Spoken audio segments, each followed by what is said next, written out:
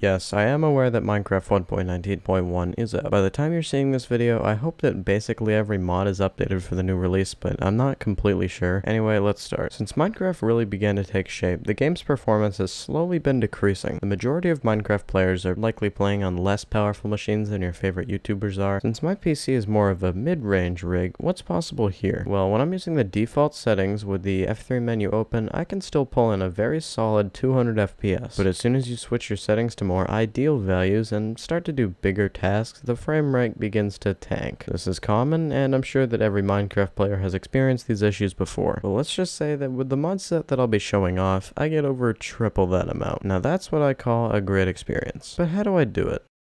Let's begin by installing the mod loader. Start up your Minecraft launcher and load up 1.19. Once the game boots to the title, close it and head to the QuiltMC website linked in the resources document down below. Download Quilt and run the installer. Select 1.19 and install it. If you didn't start 1.19 before like I showed you, then you'll probably get an error. But anyway, open up your launcher and head to installations. Click on the brand new Quilt profile and click the browse button. Create a new folder in the .minecraft folder and call it something memorable. Open that folder and create a folder called mod mods. In that mods folder, drag all of the mods that you want to use into the folder and boot up the game. You do have to configure your keybinds and settings again, but they won't mess with your normal settings ever. Also know that all shaders, resource packs, and worlds that you want to use have to be dragged into the new folder to show up. But what do these mods do, and how do they triple your frame rate? Well, let's start with that now. The way to squeeze the best possible performance out of your game is by using the sodium mod. You may have heard about it by now, but it's the most light way to boost your frame rate on any computer. You could technically get away with just sodium, but this video is about quality of life mods. Anyway, opening a new world with Sodium installed and unlimiting your frame rate should immediately show results. The video settings menu is also redesigned and you do have a little bit more control over what your game looks like. Throw in Lithium and Starlight and you've got quite the set of performance mods on hand. Starlight optimizes Minecraft's lighting engine while Lithium optimizes game mechanics like mob AI. Something I also like is this mod that changes up Sodium's video settings shape a little bit but keeps the general theme intact. It's especially nice if you use a small GUI scale but you should never use this. Why would you use this? Next thing to add is Ferrite Core, which reduces Minecraft's memory usage. Depending on what you're doing, the difference may be minimal, but it will never negatively impact your gameplay. Also add entity culling to prevent entities that aren't in view from rendering to save FPS. Smooth Boot and Lazy DFU will likely be a lifesaver for people who have slow CPUs because these mods reduce CPU usage when the game loads. Tooltip fix, language reload, and memory leak fix just patch a couple of bugs here and there to fix the little things. And Krypton is there to optimize Minecraft's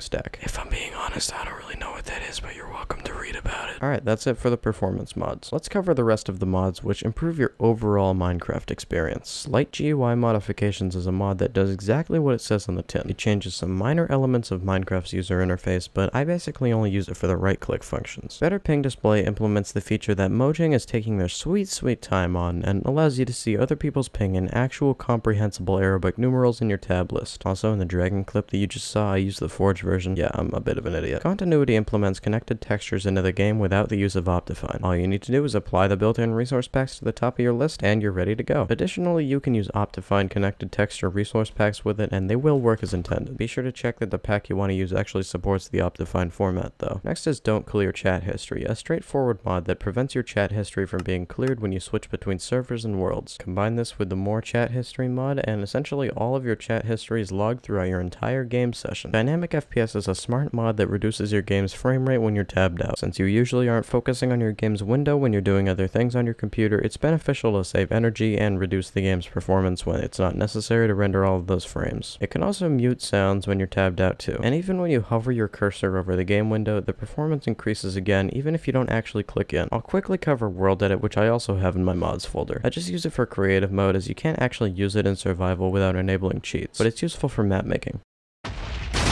Now for a big mod, Iris. Iris is a mod that adds shader support with Sodium. This is the best way to use shaders while having the highest possible frame rate. At this point it's compatible with every single popular shader pack and it's being updated all of the time and it basically relies off of Sodium for good performance so at this point there's no reason not to use Sodium, but that's Iris. Logical Zoom is a simple mod that adds Optifine's zoom function to the game without actually using Optifine. There is a mod called OK Zoomer that adds more customization to the zoom function but I've never really cared about all of the options. You're welcome to use it if you like them but Logical logical zoom is always something that I come back to. Mini HUD is the coordinate mod that I've used in basically every single one of my videos. While it's actually capable of much more than just showing coordinates, it's the most useful function in my opinion. It can actually do so much that I think it would warrant its own video. But if you want to be like me, you can just download my config file to use only the coordinates. The way to import this is to just drag it into the config folder in your performance mods directory. If you don't end up using my config, boot up the game and press H and C in game to open up the configuration. If you do use my config, press left shift agency. Then from there you can do anything you want. I would recommend changing the keybinds to fit your desires. Mod menu does what Fabric and Quilt should probably already do and it adds a mods button to your main menu and your game menu. With the assistance of some mods that I'll show at the end of the video, you can use this mod to configure basically any mod that needs to be configured. I would recommend changing these settings in mod menu's config.